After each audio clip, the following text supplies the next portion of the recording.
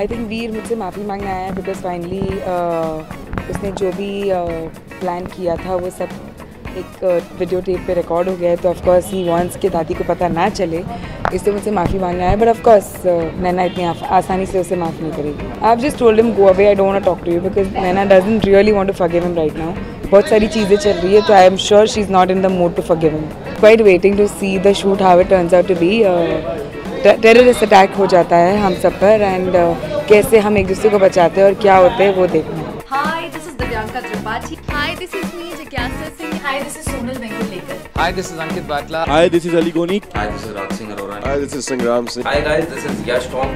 And you're watching Telesoap. And keep watching Telesoap. Keep watching your favorite channel, Telesoap. Keep watching Telesoap. You are watching Telesoap. You're watching Telesoap. And you're watching Telesoap. and you're watching your favorite channel on YouTube, Kelly So.